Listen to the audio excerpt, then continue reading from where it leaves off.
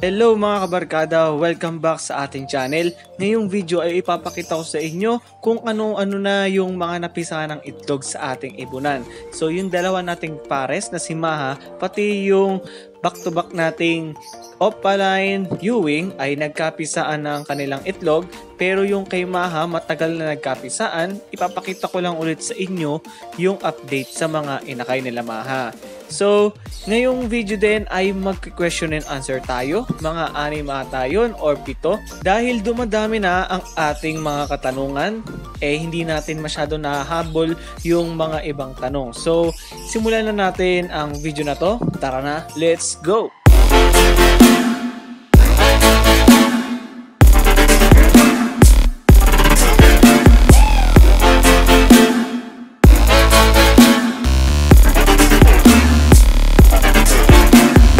So ipapakita ko muna sa inyo yung inakay ni Maha. So ito ang mga inakay ni Maha. Ayan, kung makikita nyo dyan, yung, di ba, apat sila. Yung dalawa dyan ay galing doon sa back-to-back natin, Green, Opaline, Ewing. So yung dalawang yan ay back-to-back silang ano, sa parents.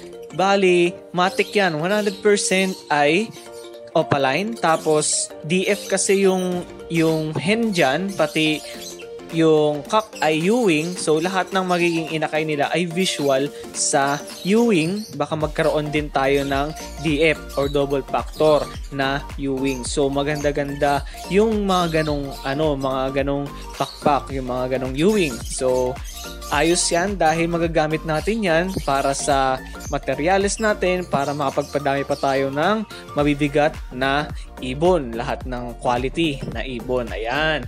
So, kung magkakakyan mga yan, ay magagamit natin yan sa breeding natin. Kaya, asahan natin na magkak sila pagdating ng panahon. Tapos, yung dalawang inakay, kinamahayan sa kanila yan, pag-aari nila yan. So, foster kasi yung dalawang inakay na yan, bali, itlog pa lang, finoster ko na. Kung hindi nyo pa napapanood yung yung video kung paano ako nag-foster, pindutin nyo lang yung lalabas dito sa taas. Ayan. Dahil foster yan, magaling magbuhay na pala si Maha. So, nabuhay niya itong apat na itlog hanggang ngayon. Bali, lahat yan ay busog, lahat yan ay napapakain. Kaya, hindi nagkukulang si Maha sa pagpapakain at sa pag-aalaga ng mga inakay. So, syempre, dahil din sa hindi natin palagi binubulabog, binibigyan kasi natin sila palagi ng oras para mag-alaga ng kanilang inakay at para syempre mabuhay nila yung mga inakay dahil hindi natin sila nabubulabog. So ayun lang naman ang technique ko doon para mabuhay yung mga inakay. Experience ko lang yon at ang aking um, diskarte. Ayun. So dito naman sa ating back-to-back Green Ewing Opa. So ang kanilang itlog dito ay tatlo, dalawa na ang napisa. Ayan. So, kung makikita nyo, itong dalawang inakay ay galing yan kay Maha. So, itlog yan ni Maha, inakay yan ni Maha na napisa na dito sa ating back-to-back green opaline Ewing. So, napisa nila, magaling din sila maglimlim at magaling din sila magbuhay dahil napapakain din nila yan. Tapos, yung huling itlog, dahil nakikita nyo na may linyang pula. 'di ba Kita nyo, may linyang pula sa kanila yan. Basta pula ang linya, galing yan sa ating back-to-back green Ewing Opa. Ayan. So, huling itlog na nila yan na pipisain na sana ay mapisa ngayon, ngayong uh, gabi, mamayang gabi, mga madaling araw siguro. Tapos, o kaya kung hindi mapipisa ngayong araw na madaling araw, siguro sana bukas or sa Monday. So, basta yung dalawang araw na yon ay ayun na yung aasahan natin kung kailan sila mapipisa. So, ayan ang update dito sa ating ibunan. Dito sa ating mga foster parents na si Maha at yung kanyang pares at itong back-to-back natin green opaline Ewing. So, ayan ang ating update dito. So, tutungo na tayo sa ating question and answer. So, yung tanong dito ni Clark Sanchez, pwede daw ba ilipat ang breeder na may inakay sa ibang cage? Sa akin, para sa akin kasi, ay huwag niyong gagawin kung may inakay. Kung meron pa silang pinapakain na inakay. Huwag niyong gagayahin yung ginawa ko dati na nanilipat ko si Maha, pati yung partner niya, sa ibang cage tapos binago ko din yung yung kanyang nest box. Ayun, ang nangyari ay namatay yung isang inakay. Bali, tatlo yon tatlo yung inakay na yon tapos namatay yung isa, yung dalawang inakay na nabuhay, ayun si Bayabas at si Mango. Kaya wag nyo po silang uh, ililipat ng cage or ng nest box kung meron pa silang mga inakay or itlog. Basta tapusin nyo muna yung kanilang pag-aalaga ng inakay bago nyo sila ilipat. Okay? Mas maganda kasi na yung safe tayo, yung safe yung mga alaga natin, yung wala tayong pagsisisihan sa gagawin natin, okay? Mas okay nang hintayin na lang natin mapisa yung itlog at lumaki yung inakay hanggang sa matutong kumain ng seeds, okay? Ayun lang naman ang magandang suggest ko para sa iyo. Base sa aking experience lang yun, okay? So, next question tayo kay Aldwin Aceron. So, ang tanong niya dito, panglimang itlog na ang nababasag. Lagi po nilang hinuhulog. Ano daw ang ano kaya daw ang dahilan?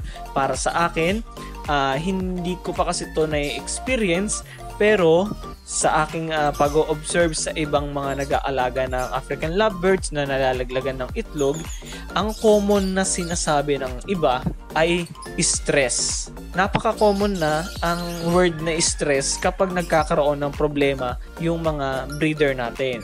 Kaya mas okay kasing uh, in another level naman yung mga reason. So, siguro para sa akin lang naman, bukod sa stress, ang ibon natin ay hindi pa handa. Para sa akin lang to ah, hindi pa sila handa na mag-itlog or mag-alaga ng mga ano, ng mga itlog or ng inakay. Kaya nila pinapatay yung itlog, binabasag yung itlog at pinapatay yung mga inakay. Base din sa naalala ko, sabi daw ay bugok na daw yung itlog kaya nila binabasag yung itlog at nilalaglag. Para lamang sa akin yun sa pag-o-observe ko sa ibang mga nag-aalaga. Kaya kung ang nangyari nga yan sa inyo na nababasagan kayo ng itlog, ang magandang gawin, ang magandang isipin ay bawi na lang next clutch. Okay? Ayun lang naman ang magagawa natin. Hindi na natin yan masisisi sa ibon or hindi na rin natin yan masisisi sa atin dahil ayun nga, hindi pa talaga sila ready.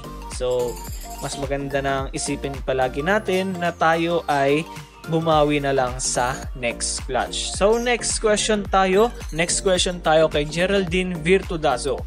Ang tanong niya dito, may rampa daw ba ang mga green perso? So kung magbabasa tayo sa mga dati kong alaga na mga personata, tulad nito, so meron akong tatlong green perso na dalawa ang olive tapos isa ang green. Ayan. So yung green dyan ay isang wild type. Sobrang linis ng kanyang bib, sobrang itim ng kanyang uh, ulo.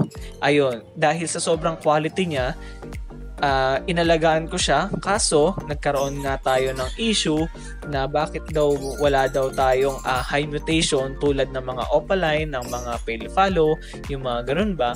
So binenta ko lahat ng aking mga personata. So lahat ng nandiyan sa flight cage na yan, binenta ko para lamang makabili ng mga opaline. Tapos nung nagka-opaline na ako, yung nag-comment ng bakit wala daw ba akong mga high mutation, ayun, nawala siya. Bigla siyang naglaho, 'di ba?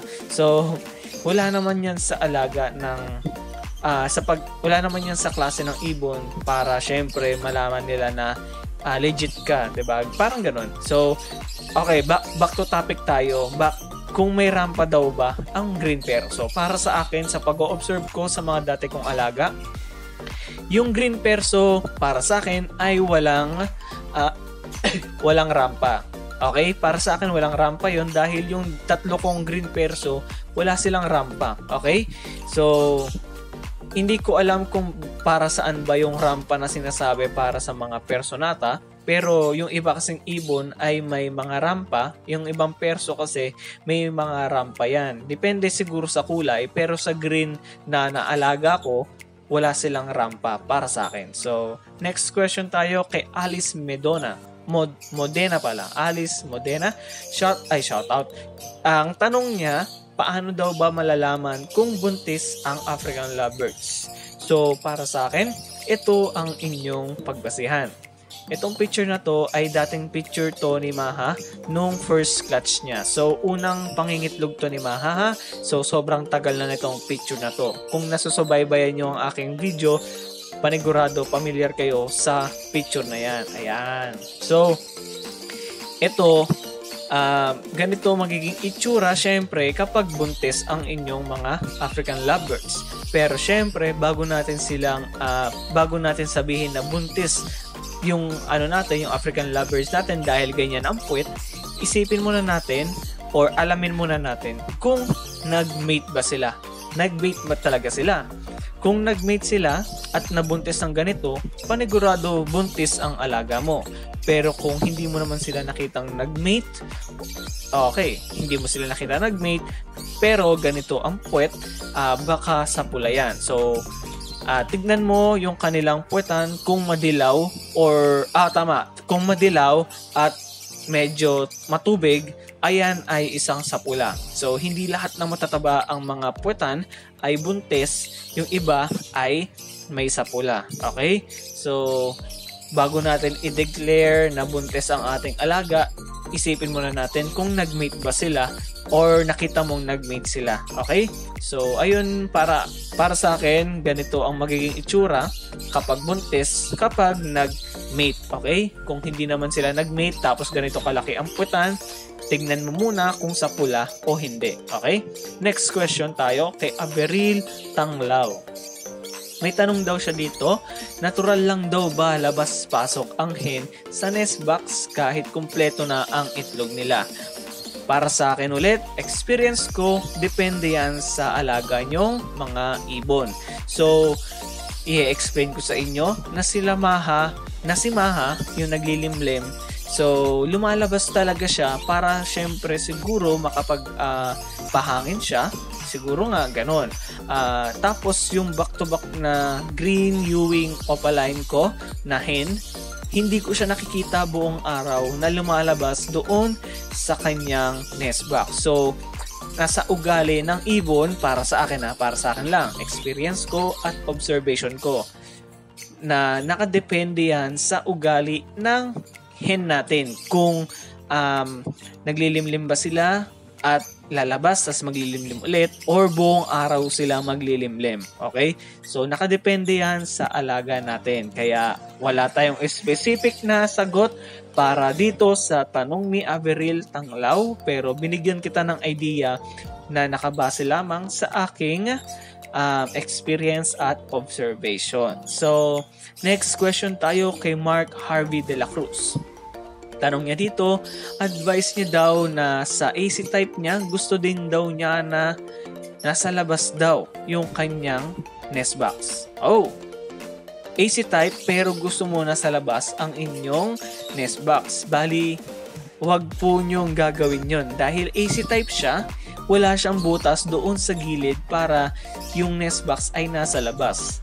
Kung bubutasin nyo or sisirain nyo yung wire ng AC type, baka manghinayang po kayo dahil yung AC type ay para lamang sa mga nest box na nasa loob. Huwag po natin bubutasan yung mga AC type dahil papangit yan at paano kung magsisi kayo sa huli, ba? So mas okay nang kung gusto natin na yung nest box natin ay nasa labas, bumili na lang tayo ng panibagong cage. Na double cage na yung simple lang, yung may pangbutas sa labas. Okay? Huwag AC type. Okay?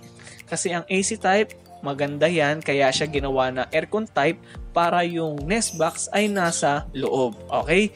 So, ayun lang naman guys. Ngayong video, sana ay may natutunan tayong bago tungkol sa mga naging katanungan ng ating mga kabarkada.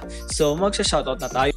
Shoutout tayo kay Daniel Kayanan, kay Geraldine Virtudazo, kay Emilio Salonga, kay Wat Bondo Bandokilio, shoutout din kay Albert Chino Tolentino, kay Estong Jadormio, kay Joaquin Yusop, kay Enzo Maca, kay Florence Aquino, kay Prince Kel Tatel, shoutout din kay Julius Villa, kay Balmini Avery, kay Brent Stephen, kay Daniel Soliman, kay Carlo Ang, kay Joy Copper, kay Jonathan Ko, shoutout din kay Elijan Pepanyo, kay Exotic TV. Shoutout din kay Clark Sanchez, kay Giovanni Virtusio, kay Ken Nino Naire. Shoutout din kay GML Avery, kay Richard Omen Omentado. Shoutout din kay Godi Bird, kay Crisel Anlaigo, kay Joaquin N1, kay Lean Cruzada. Shoutout din kay Jopet Eric Jack Gax.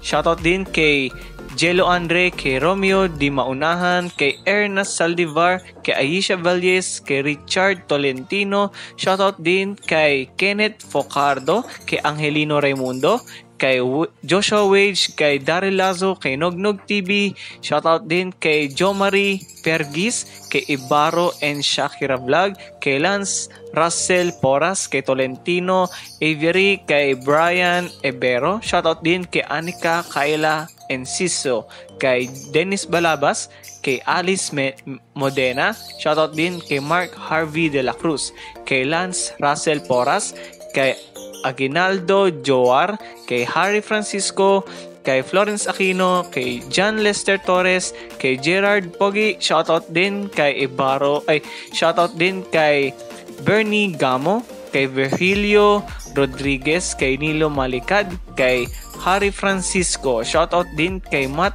Bryan, kay Rolly Turla, shoutout din kay Jopel Chua, and shoutout kay Ken Carl Gutierrez. So kung gusto niyo magpa-shoutout, comment lang kayo at isa-shoutout namin kayo kada video namin. So salamat ulit sa mga sumusuporta, mga kabarkada. Mag-ingat po ang lahat and we'll see you on the next video.